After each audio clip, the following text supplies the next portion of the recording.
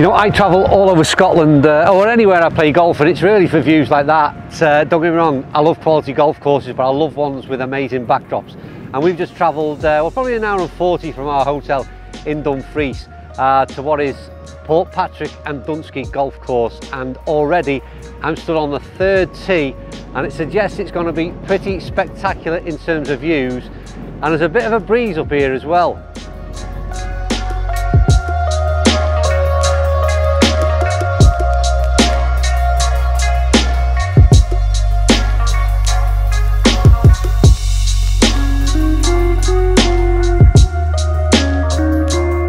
The way I describe it, two opening holes, bit of a warm up, and then the third that I did that intro on is uh, stroke one as I recall. And believe me, it's an unreal hole. I can't get the drone up right now to show you this, um, but I can see why it's stroke one.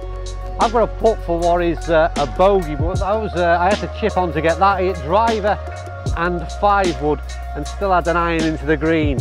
Like I said, bit of a breeze, but what a golf hole the third is.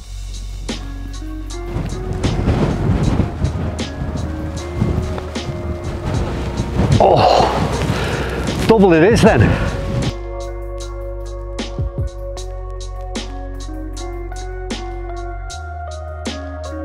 Most holes offer up some generous fairways, which mean you can get away with a few. This is a golf course that can be enjoyed on a good or a bad golf day.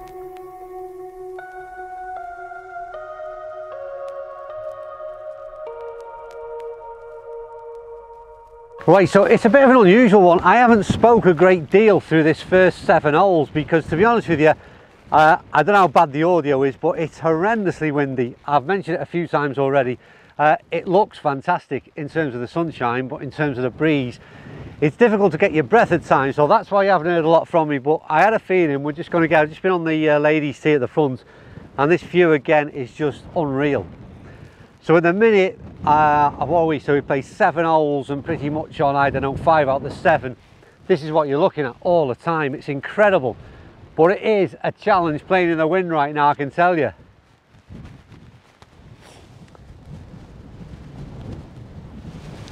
I will also say that based on the forecast, it was pouring down rain all day, so uh, well, I'll take this any day.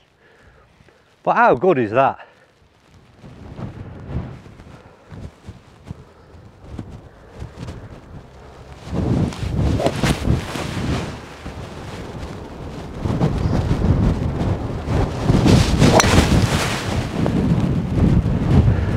You know what, it's a decent drive.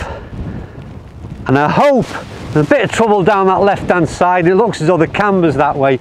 So we might be in trouble, but uh, I always say it, and I said it all during the last series, is I don't care where I play golf, or how I play golf rather, when I'm looking at places like that, because it's just, uh, it's breathtaking stuff, isn't it? Literally breathtaking at the minute. Right, there was a camber and quite a severe one, although we did stay above ground. Um, we're playing to the green on the flag rather, not quite on the horizon, or there is one further on. I can see that yellow flag waving about in the wind. We're a little bit more protected down here. Um, we got 105 in.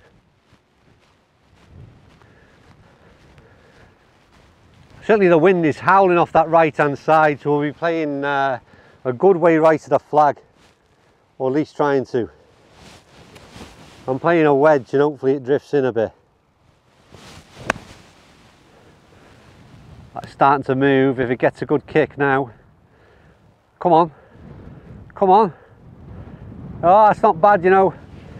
I don't know, 15, 20 foot. I've got a birdie putt and I haven't had many.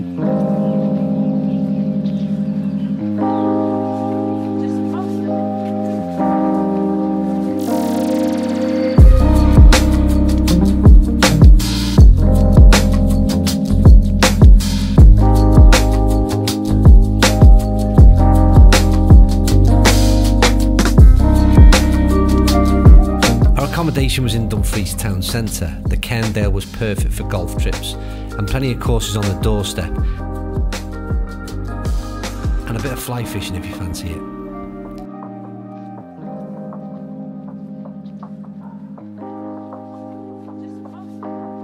We just teed off on 10 and uh, I don't know whether we'll get a chance later on today, but down there you should be able to see, if you just come a little bit further forward, that is the harbour town of Portpatrick itself. It looks really, really pretty. And like I said, I hope to get down there and show you around a little bit later on. We did get down to the waterfront, which is another classic Scottish harbour town. First stop was the blue building on the left of screen for post-match refreshments and taking some more of that view.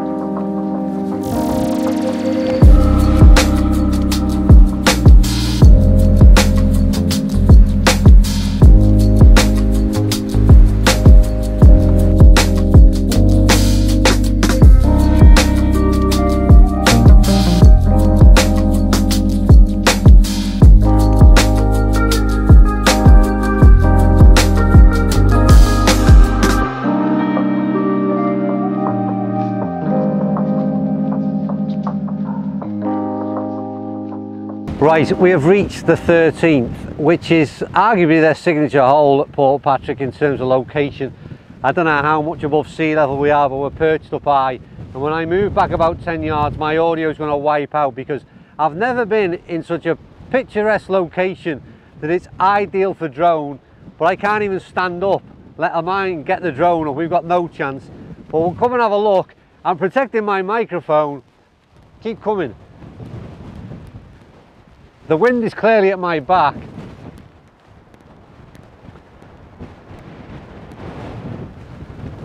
The backdrop is absolutely stunning. We're playing to the green uh, down in the distance, but if you pan all the way around, what a tee position. I don't think I've, well, I was going to say I've ever stood on somewhere that's more dramatic than that. Absolutely beautiful. And then uh, if you just come back here, I don't think with the light we've got, you might make out in the distance, certainly there's a shadow there in the skyline. That is Belfast, directly opposite us. And I think further up the coastline, you get ferry over to Larne uh, or into Belfast maybe, I don't know. But uh, yeah, an incredible location. But it's one of the toughest days and the cameraman has, or camerawoman has just nearly fell over. It's one of the toughest days I've ever been on the golf course. Uh, it says 30 mile an hour winds and that is an absolute load of rubbish. It's in 30 mile an hour.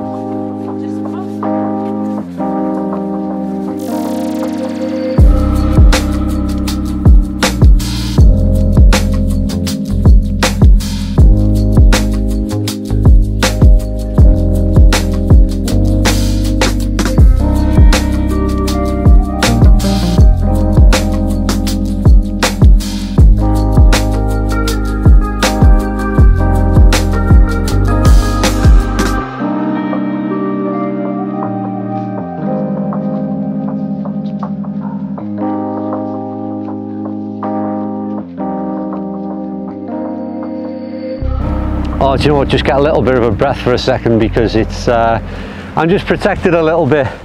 I've hit a good drive up 14. A little bit of a flick with a wedge. What you should be looking at right now is what's going on behind me. Forget my golf shot for a bit. That's not bad, and yeah, it's not bad. But that backdrop, oh my word, that's awesome, isn't it?